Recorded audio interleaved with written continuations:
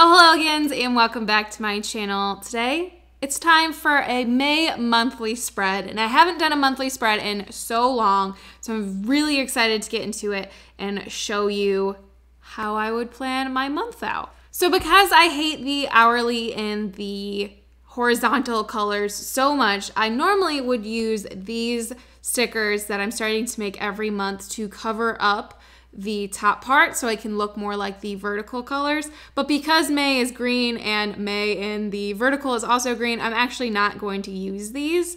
I still might use the Sunday through Saturday cover-ups but I'm actually not going to use these top stickers just because it's the same color. But this is the monthly kit that we sell in our shop. So it has this little like mini monthly kit and those stickers. And I'm going to use a lot of these as well as a couple other just May monthly, weekly colors, and some other decorative stuff. But let's get into this and I'll show you guys how I do it. So let's cover up the days of the week first. I think it'll really help the look and feel of the spread to have the pink involved. Plus, I love this font so much that any excuse to use it and I'm all over it. I used to use the side note section for bills, but I don't really do that anymore. I kind of just scatter the bills throughout the weeks and everything. But this is a good place to write goals or as I said, bills or anything that you are doing throughout the entire month, like projects and stuff for work, this would be an excellent place to write all of that. But I actually don't really use mine very much. So let's add in birthdays first because there's quite a few. I'm gonna use some of the heart labels on the monthly kit to write in about the subscriptions. The July sub goes live on the 1st.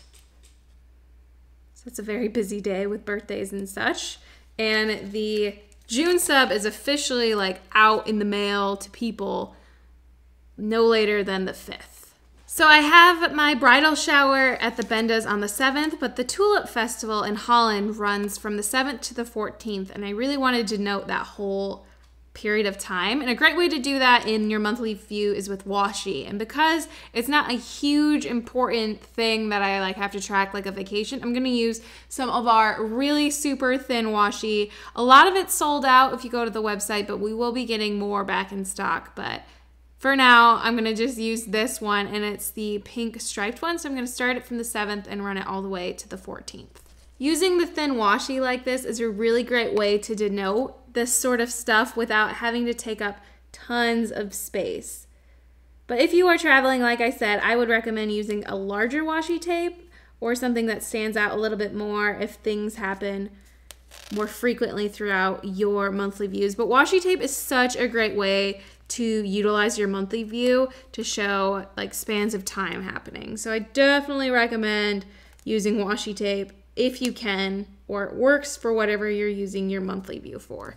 For Saturday, I'm going to use one of these half boxes, bridal shower. And then I have a bunch of different wedding-esque stickers. I have these Purrfect Paperie ring ones, some Let's Plan It florals, and this Willowfields floral that I really like to use for our wedding related things. It's very our color scheme, fall, navies and whites and stuff. So I really like this one, but I think I might do like a combination of everything. Let's use this little pink heart and one of these rings. Yeah, I think that's good. I don't want to overdo it. On the 14th, I'm actually going to the Tulip Festival with some of my sorority sisters, so definitely going to use this half box to write Tulip Festival. And then I'm gonna add one of these one orange snowflake, like summery spring looking stickers. I think I'll do this little lantern sticker and then add in maybe a hot air balloon. And of course, a flower. You can't have a tulip festival without a flower. So we're having a garage sale on the Thursday and Friday in May. So this is a great opportunity to use a thicker roll of washi tape. We are going to a wedding on the 21st, so that's another great opportunity for a half box. Or actually, I think I might just use one of these labels to mix up that sidebar. It's get or that like Saturdays getting very half box heavy, so let's mix things up. I'm using the May mini weekly kit for this, and I'm actually gonna steal one of the half boxes from the monthly kit because they will fit perfectly. So let's use this polka dot one and then put the label on top of it.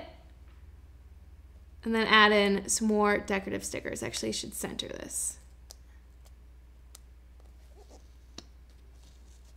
Eh, it, it's, it's staying there. It seems pretty firm to that spot. So let's just leave that there and throw in something like this to kind of cover up my little mistake. Sometimes stickers are like, nope, I'm actually, I'm gonna just stay here now and you're kind of screwed. So I'm gonna add these decorative boxes throughout the spread while I'm thinking about it, just to give the whole spread a little more texture and stuff going on.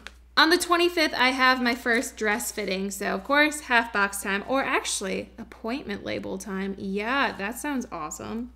Everything from the monthly kit fits perfectly in this spread, but some of the other stickers I'm using from the weekly kit are going to be a little bit different sized. So just so you guys know. And then I'm going to add in some payday stickers to appropriate locations. We have a mortgage payment on the first of the next month, but since it shows up in this spread, I think I'll just add another bills due sticker down there. And then I'm gonna add these trash can stickers on the days of the week that we have, what am I trying to say? That we have recycling. So I'm gonna look back into April. And the last one was the 25th. So the second we won't, and the 9th we will, and so on and so forth. That way I can remember which days are recycling so I don't look like a neighborhood noob and put out my recycling when it's not ready for recycling. So those were all of the actual sticky notes for the spread. So usually I would just leave it like this and add things in as the month went along just to keep things simple and kind of fill in things as we go. This is what April looks like so far. I really like how it looks and I embraced the April colors and tried my best to make it happen. So I will add photos and things throughout the month, but let's add some One Orange Snowflake decorative stickers in because I think this sticker sheet looks really good with this spread. So we'll just add a couple more in and then call it good. So I'm gonna leave it there just so I have plenty of space to add things in as the month goes along. I really like doing that. I find journaling slash planning the perfect combination for me. So I definitely like adding stuff in after the fact. But that is it for my monthly view plan with me. Let me know in the comments below how you guys use your monthly view. I'm always trying to find better ways to use it and make it worthwhile. But that's going to be it for today's video. As always, thank you guys so much for watching. Be sure to give this video a thumb. Be sure to give this video a thumbs up if you love Plan With Me's, all types of Plan With Me's. And don't forget to subscribe, and I will see you guys in my next video. Bye!